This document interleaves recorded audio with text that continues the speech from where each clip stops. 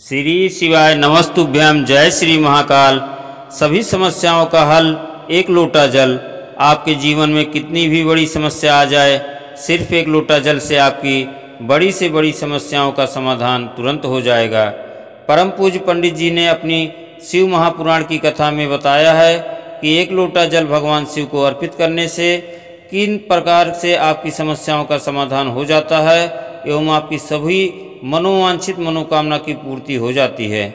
चार प्रकार की समस्याओं के समाधान के लिए आज हम यह आपको बता रहे हैं। वह सभी उपाय एवं किन किन समस्याओं के लिए और किन मनोकामना पूर्ति के लिए किस प्रकार जल चढ़ाना है गुरु जी ने जो बताया है, वह सभी हम आपको इस वीडियो के माध्यम से बताने की कोशिश करेंगे।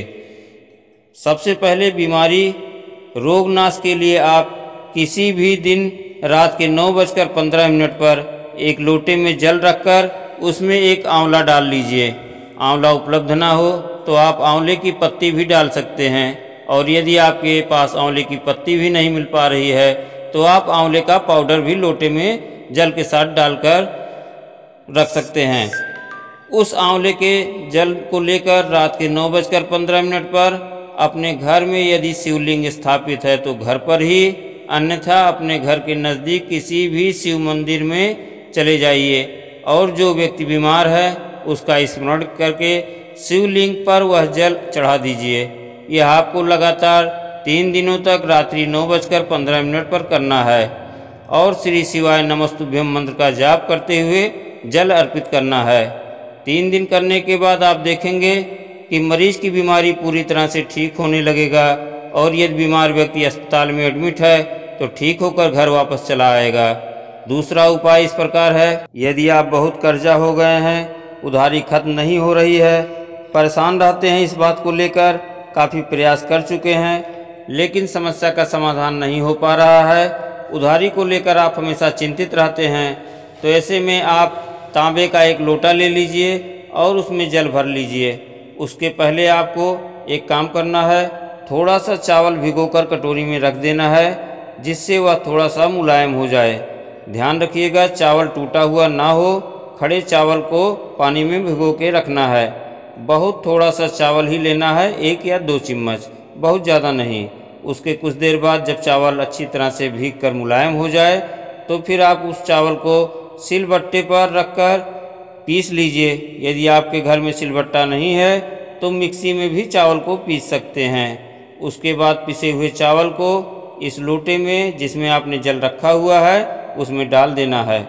इसके बाद आप हल्दी ले लीजिए, चाहे आप खड़ी हल्दी लेकर पीस लें या हल्दी पाउडर भी ले सकते हैं। और यह पिसी हुई हल्दी भी आप लोटे में डाल दीजिए।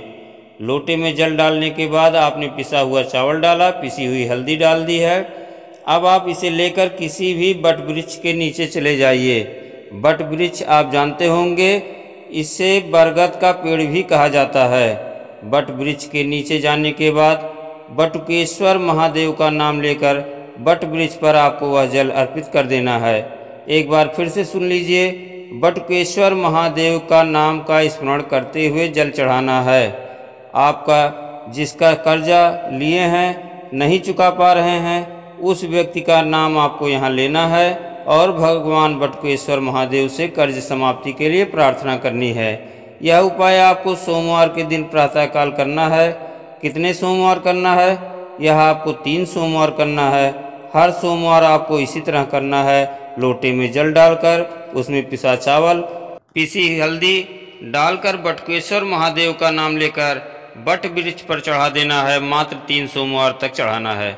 अब तीसरे सोमवार जल चढ़ाने के बाद आपको उस बट वृक्ष का एक छोटा सा जड़ तोड़ लेना है और हमेशा उसे अपने पास रखना है। ढाई महीने तक आप देखेंगे ढाई महीने से तीन महीने के अंदर आपका सारा कर्जा समाप्त हो जाएगा, आप पूरी तरह से ऋण मुक्त हो जाएँगे। अगला उपाय इस प्रकार है, यदि आपके पास धन की कमी है, पैसा नहीं आ रहा है, बहुत प्रयास करते हैं, काफ़ी मेहनत भी कर रहे हैं, लेकिन धन की कमी, पैसों की कमी हमेशा बनी रहती है तो ऐसे में आप एक लोटा जल लेकर उसमें एक कमल का फूल डाल लीजिए। और यदि कमल का फूल नहीं मिल पा रहा है तो आप उसमें एक कमल गट्टा भी डाल सकते हैं। कमल गट्टा आपको हमेशा बहुत आसानी से मिल जाएगा। किसी भी सोमवार की सुबह आप लोटे में जल और कमल का फूल या कमल गट्टा डालकर शिवलिंग पर चढ़ा दीजिए। मात्र पाँच सोमवार चढ़ाने के बाद आप देखेंगे कि आपकी आमदनी में वृद्धि होने लगेगी, आपको पैसे आने लगेंगे। और कोशिश कीजिएगा कि पाँच सोमवार जल चढ़ाने के बाद भी जब भी सोमवार को मौका मिले आप कमल वाला यह जल भगवान शिव को अर्पित करते रहिए। भगवान शिव की कृपा से आपके पास धन की कभी कमी नहीं रहेगी। और यह आखिरी उपाय जो हम आपको बताने जा रहे हैं, इसे हमेशा नहीं करना है। इसका प्रयोग सिर्फ़ इमरजेंसी जैसे कि अचानक कोई बड़ी समस्या आ गई है, तुरंत उसका निस्तारण होना ज़रूरी हो गया है। उस समय यह उपाय आपको करना होता है। उसके पहले आपसे निवेदन है कि वीडियो को लाइक और चैनल को सब्सक्राइब अवश्य कर दें। एक लोटा जल ले लीजिए, उसके अंदर कुछ डालना नहीं है, और हाथ में एक दाना चावल या एक दाना हरा मूंग लेकर बेलपत्री के पेड़ के नीचे चले जाइए। बेलपत्री के पे आसपास कोई एक कंकड़ या पत्थर उठाकर बेलपत्री के पेड़ की जड़ के पास रख दीजिए। कंकड़ रखने के बाद उस कंकड़ पर एक दाना चावल या एक दाना मूंग रख दीजिए, और अपनी समस्या कहकर श्री शिवाय नमस्तुभ्यम का जप करते हुए उस कंकड़ पर जल चढ़ा दीजिए। आप देखेंगे कि दो से तीन घंटे के अंदर ही आपकी समस्या का समाधान हो जाएगा। शिव जी की ऐसी कृपा होती है।